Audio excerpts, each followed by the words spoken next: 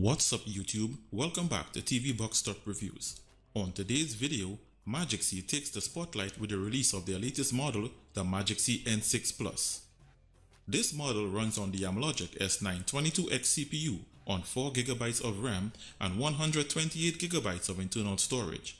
Guys, I'm really excited about this box because Magicsee is one of my favorite developers and their models are usually of a high quality and delivers great performance to their users. So the N6 Plus falls into that high-end category and expectations are high for this model. So after the break, I will put it to the test and let's see if the N6 Plus has what it takes. So stay tuned, a full review is up next.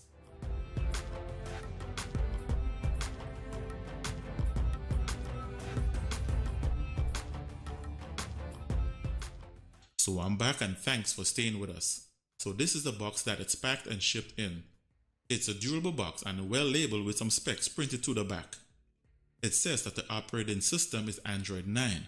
The CPU is the Amlogic S922X Cortex-A73 plus the Cortex-A53 processor. The GPU is the Mali G52MP6. It has 4GB of DDR4 RAM, 128GB of internal storage, dual band Wi-Fi, USB 3.0 port, Bluetooth 4.1, and it has a gigabit LAN port. So without further ado, I'll do a quick unboxing.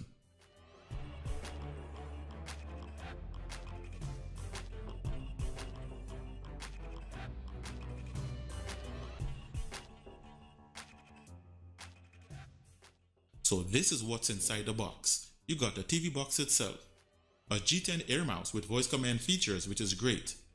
You got one HDMI cable, a 12 volts 1.5 amps DC power adapter, one external antenna, and the final item is this user's manual. And now a quick look at its design and its input-output peripherals. The body is made of plastic with a carbon fiber surface with a Magicsee logo printed to the top. To the rear of the box, you have one HDMI port, one USB 2.0 port, one gigabit LAN port, one optical audio port, one audio video port, and a DC power input jack. To one side, you have two USB 3.0 ports, a micro SD card reader, and an external antenna. It's blank on the other side. To the front, you have an LED clock display, and below the box, you have lots of ventilation holes. I will now set it up on my 4K TV and capture card and continue. So I'm back and I'm all connected. And when you power on the box, you have the Magicsee logo animation for just a few seconds. Then you're taken to the launcher. So this is the 2020 Magicsee launcher and it's made of a semi-transparent design with a main panel to the bottom and the ability to add shortcuts to the top.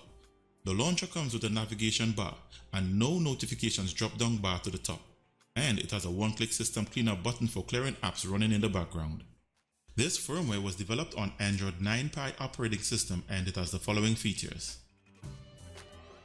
Under Droid settings, you have 4K display resolution up to 2160p at 60Hz.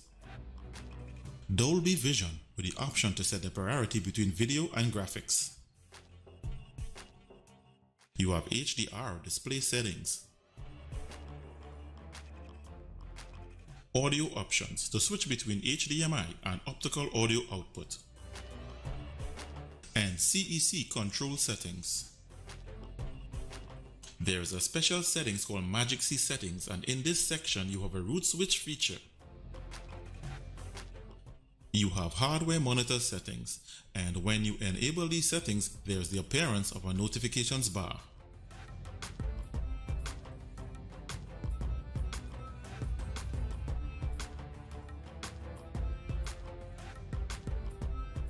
Also, in this section, you have a built-in screen rotation feature.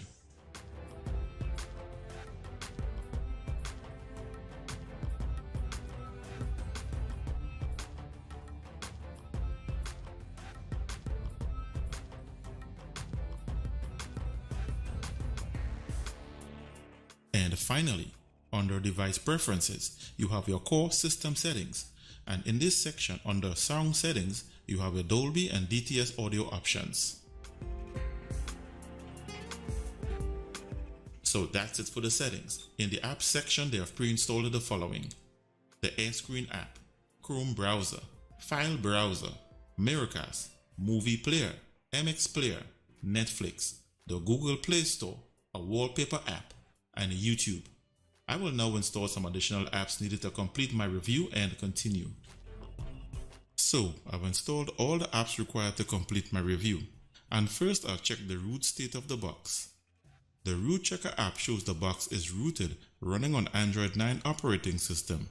This is great for apps that require root access to work, and for apps that require your box not to be rooted, you can use the root switch to turn it off. Next, I show its DRM information. The Magicsee N6 Plus has Google Widevine Level 3 and no HDCP protection. This means that premium streaming services such as Netflix and Amazon Prime Video will only show in basic 480p quality. And now, a quick look at its system and hardware information. It shows that the model is the N6 Plus. It has 4GB of RAM which is DDR4 memory and it also shows the remainder of the 128GB of internal storage. The Bluetooth version of this box is 4.1 which is indicated by the 4 plus below here.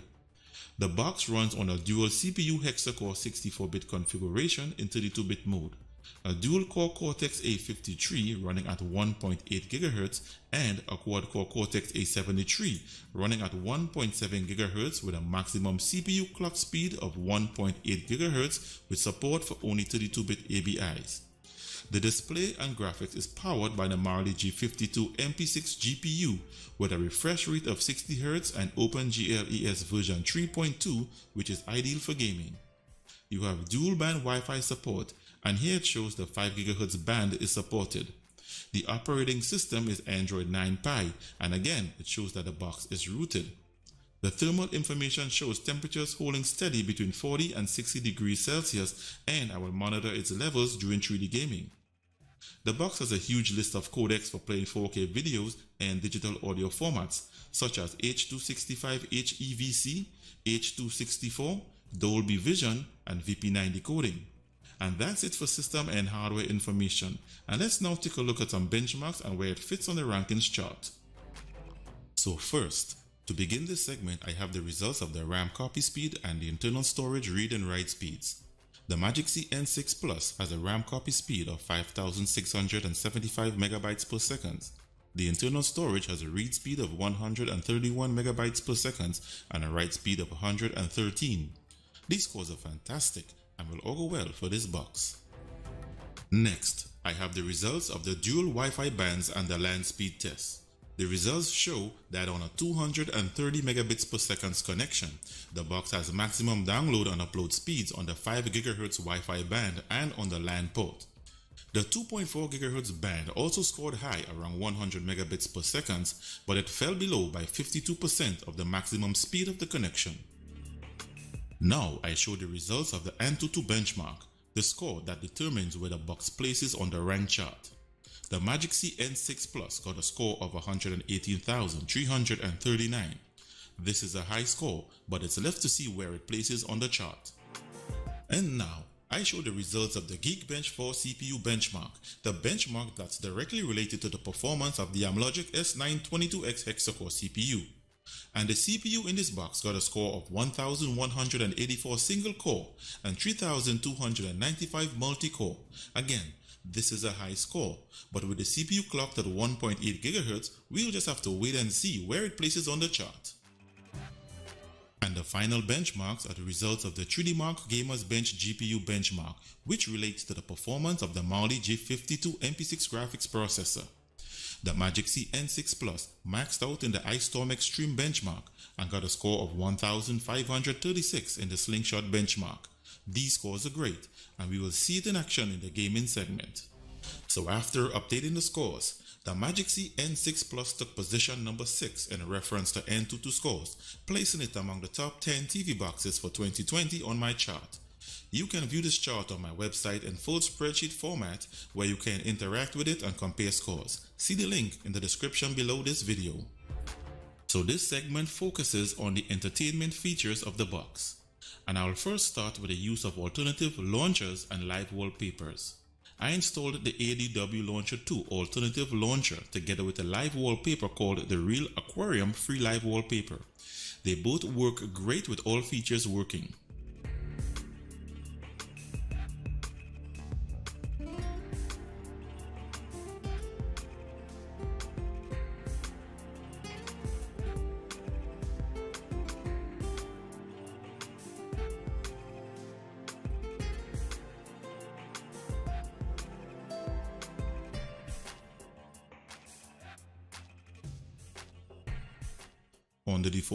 Launcher, you also have the option to change wallpapers. However, live wallpapers don't work.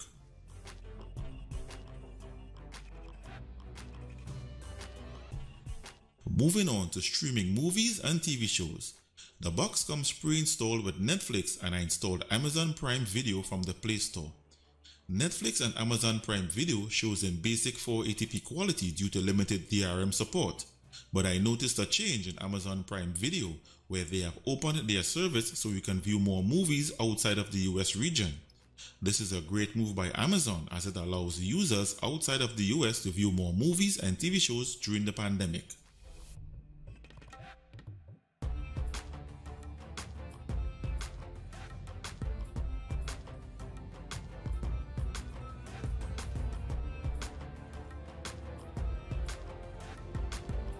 For those interested in YouTube, YouTube comes pre-installed on the box and it's the Android TV version and it plays in 4K quality.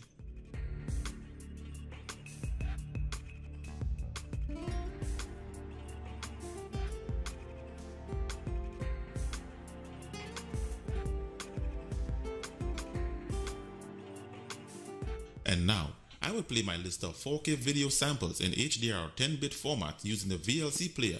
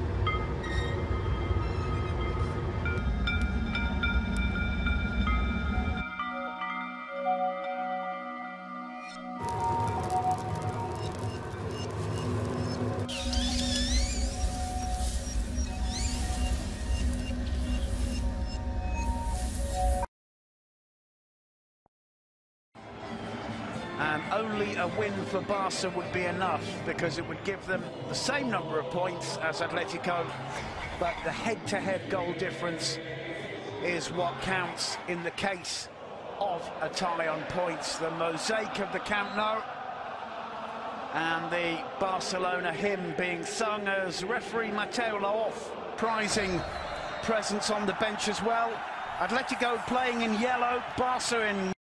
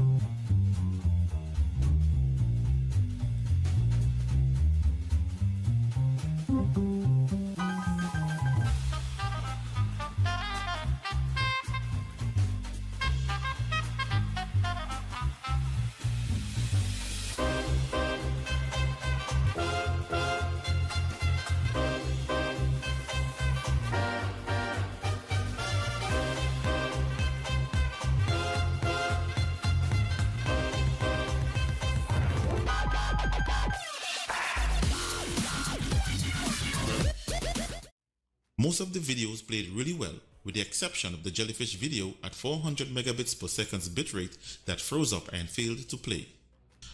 I now have the digital audio test. In this test, I have the Magicsee N6 Plus connected to a receiver in HDMI audio pass-through configuration and I will test for high-res audio, Dolby Atmos, Dolby True HD, and various DTS audio formats. Front left, front right, center, back left, back right.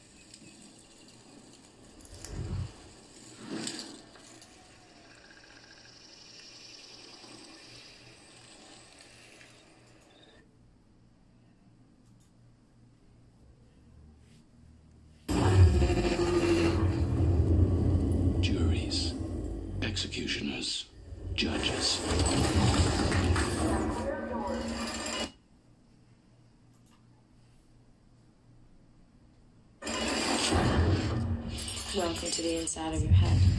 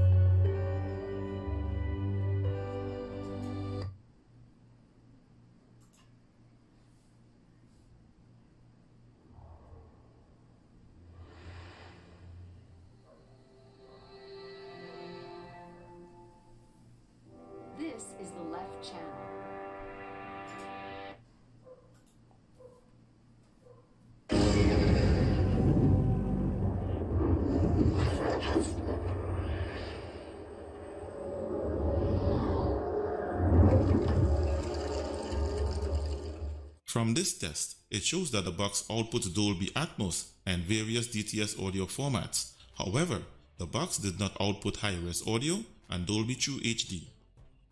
I now switch to the optical audio SPDIF port. Front left, front right, center, back left, back right.